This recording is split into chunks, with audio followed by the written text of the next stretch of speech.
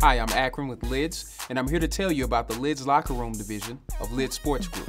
Lids Locker Room is our mall based retail concept that's your go to place for fan gear and collectibles.